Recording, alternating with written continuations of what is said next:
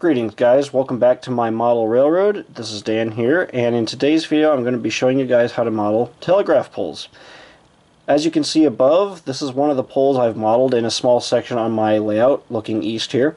And the location I've modeled is Fostoria, Ohio along the B&O and the C&O main lines. And both these main lines were very old, going all the way back to the steam era. And obviously telegraph poles would have been used along these lines for the communication, for signaling, and everything else back then and a lot of these poles survived through the 2000s. Uh, a number of them have been cut down now, but the ones that I am modeling for the layout that I'm going to be showing you guys how to make are ones now that have pretty much been all but abandoned and are just sort of being eaten away by nature at this point. Uh, so they're going to be very beat up, a lot of bent poles, missing cross arms, missing insulators, uh, and it's all very simple to do using Rix Products telegraph pole kits. Uh, I like to use these because they're very simple in terms of being able to model them and fabricate them in any way that you choose. Uh, they're very easy to work with. The kits are great. They're affordable and you can do so much with them. Uh, they come with some basic wood grain detail. Uh, the basic insulator detail on the cross arms is pretty good. And they come with some other nice little details, uh, different pole lengths, of course. Uh, so they're very good for modeling these realistic telegraph poles along the main line. So I'm going to be showing you guys how I model mine uh, and doing some slight detail work to them, modifying the cross arms by removing insulators, for example, and of course wiring them. And setting them into the scene, uh, blending them in with the scenery, making them look like they've been there for many, many years. So let's go ahead and jump into this video. Uh, this is going to be an exciting little look into another aspect of modeling. So these are the Rix poles. These are the ones I at least have, and I have just enough here for the uh, layout scenes that I need to complete. Uh, this is the pack. This is how they come. They're super cheap, and you can get 30 or 40 foot poles. Uh, and then of course they have packs of just cross arms. Uh, these are honestly the best in the market for sure because they're relatively detailed. The cross arms have nice wood grain detail. The insulator detail is pretty good. Um, it's all one style of insulator, but you know what company is going to sit there and model uh, in you know a telegraph pole with five different kinds of insulators, even though it's prototypical, but it's alright, we can make these work. So anyways, uh, you get the long, taller poles, and then you have the shorter poles, and the particular poles I'm going to be building today are going to be the smaller ones. So I'm going to be using these um, to match up with what I need on the layout. But these details are great because you can add as many cross arms to them as you like. You can do all kinds of crazy stuff. If you want to really get crazy, you can even build your own with some of the parts. I made this guy here. I'm not sure where I'm going to put it, but I made this as a interesting little uh, depot for multiple wires to come down to a relay cabinet. I had this on a few modules, and uh, I'd like to use this on the layout eventually, but I'm not really sure where yet. Anyways, there's all kinds of cool stuff you can make. You can do all kinds of different types of cross arms uh, arrangements and things like that. You can see I have an old style here. Um, a lot of these that I add on the layout right now, I'm going to be scrapping. So I have some scrap ones. I'm going to be reusing the cross arms on these for layout. But you get quite a few of them, and really you just go to town. I mean, you just go in, and what I like to start doing first is I'll just cut out a few cross arms to get started and they come in a large sprue as you can see so what you do is you just cut the cross arms out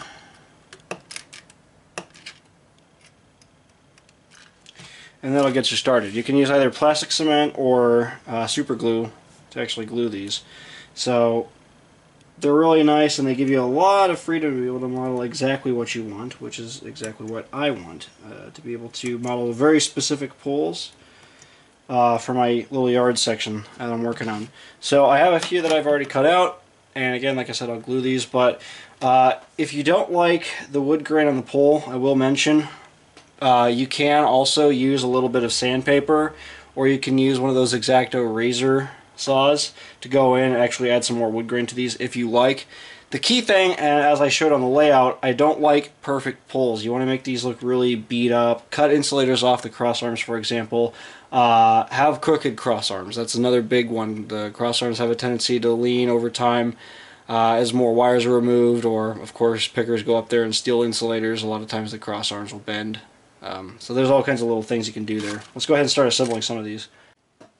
So the poles I'm modeling are pretty beaten up. Uh, a lot of times you see the insulators get stolen or removed as they uh, continue to go out of service. So another thing you can do to these is bust up the cross arms. Just make them look crooked.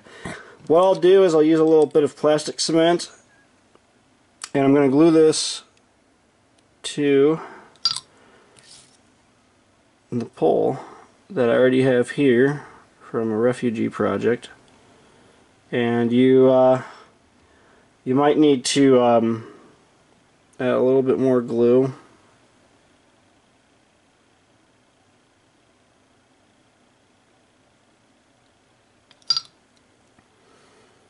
This one's not wanting to stick here, but that's fine. It can be a little crooked too, that's perfectly fine. Just let it sit and then move on to the next one. The next one here, we got the same thing, so what I'm going to do, come in like that, add the glue. I got a full cross arm here with all the insulators, throw in some variety here. Let's go ahead and glue that on like that. It can be a little crooked again too. Just like that.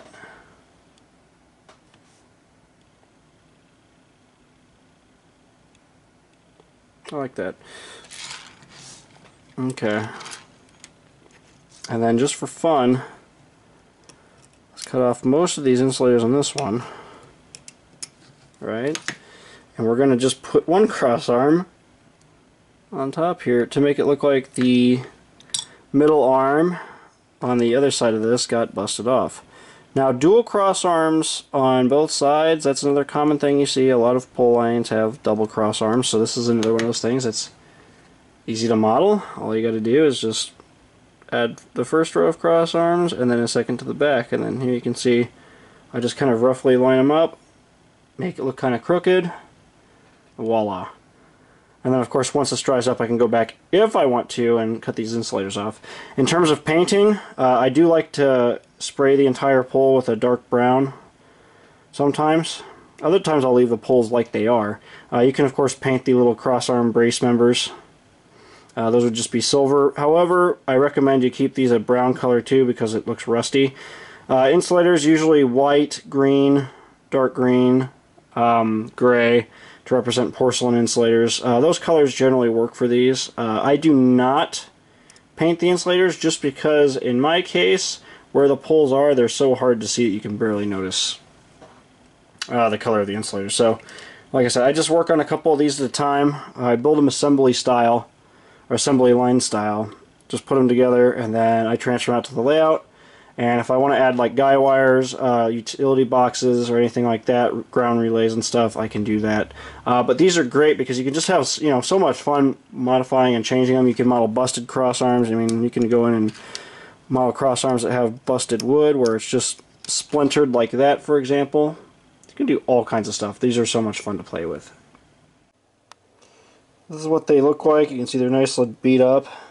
One other thing you can do, you can bend your poles a little bit with a pair of pliers. That's a simple thing to do. And, of course, the cut cross arm member, that's always another nice little idea.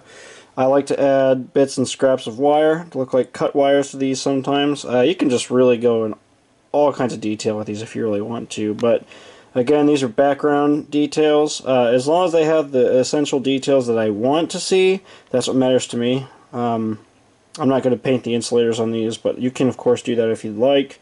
Uh, it does make them look really nice. Again, there's a couple examples here of ones where I did take the time to paint them, and they do look really nice. I will say the green needs to be a little bit darker than what I used on these though. Uh, you wanted a very subtle dark green. I also should mention uh, that Rix does make uh, poles with uh, clear glass and green glass. Uh, however, with those, the insulators look nice, but you got to paint the poles. But that is another option you can use if you'd like. Here I have installed the poles into the foam, and this is on the back section of the layout. And one of the things I want to point out here is how I've actually buried these poles in the weeds, in the shrubs. And this is something you see a lot of times, especially on uh, areas of mainline like this. Uh, especially in the real C&O yard, which is what I'm modeling here, uh, there's a lot of this shrub material, a lot of trees and stuff growing around the tracks, or at least trackside, and so these poles have kind of been enveloped in this brush. And you can see I've carefully inserted the poles in this brush. So I've glued all the scenery stuff down first and I drilled a hole through it, then inserted each individual pole at a specific length, roughly about a foot apart, and inserted them in. Now in an open scene like this, I did not. I just left it open like this, but I will plant a few weeds around it. Another thing you see commonly on these poles is vines growing up them. So that's another thing you can model. Now something else I want to point out here, notice I've put a, another pole right next to it, or at least one that has been cut down. This is something that you see out there a lot. Uh, it represents an older pole, one that was put in years before this one was, uh, that had been cut down and then replaced with another pole right alongside it. And sometimes they just leave these stubs like this. So that was something I wanted to model here because it is something that you see in the real scene in Fostoria, Ohio along the main line. Now, obviously these poles will get some wiring. Sorry about that. I will put two lines each representing the signaling line on all of these and it'll be on the top poles. Um, but the material you use to actually wire these up is Berkshire Products line, EZ Line. Uh, this stuff's been in the hobby for quite a number of years now and it's a fantastic product because it maintains and holds its stretch unlike string or anything else. Uh, fishing line I heard works pretty well too. Uh, but I always use EZ Line from now on. Uh, I used to use thread. EZ Line is so much better because it stays taut. You can see it stays nice and airy and it doesn't get all weird. It doesn't like kink up or anything. It stays taut and in position. You can see it's nice and loose, but it holds that proper sag, representing like it has weight, uh, just like the real wiring. So I like to use that material and I will be using that on these pieces of, uh, or this section of code line rather. Other little details you got to remember to put alongside are little relay boxes, little trackside cabinets and things like that. Old signal relay boxes like that generally went along with these poles and sometimes on those poles you saw a lot of conduit. You saw guy wires coming off of them. You had other little uh, little circuits and stuff mounted onto the telegraph cross arm beams. So there's all kinds of little things you can make. I didn't represent it here, but uh, we have the hint at a detail like that here with this little cabinet. As another example, you can see I actually added a little circuit box to this pole here. That's just a Walthers piece uh, from a detail kit. I just glued that onto the pole, and then in this case the wiring has all been cut off. You can see a lot of the insulators are smashed off or just completely missing altogether, leaving just the pole. And you can see I've actually left the cut wires bunched up and hanging off this pole. This is something you can do to an old telegraph pole that really adds another level of detail to it. It looks incredible when you do it. And it's those small details, that's what people notice that are like, wow, I've never seen that model before. But yeah, that's right, that's what you see out there. And I like those effects. I like the idea of having these cut wires. Again, there's another old pole base left right there in the weeds, while the newer pole has been left alongside it.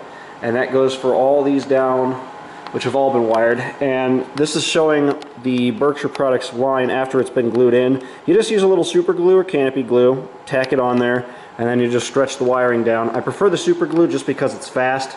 Uh, you tack it on real quick and then you can take off from there and then you can go one pole at a time and get quite a number of these done relatively quickly.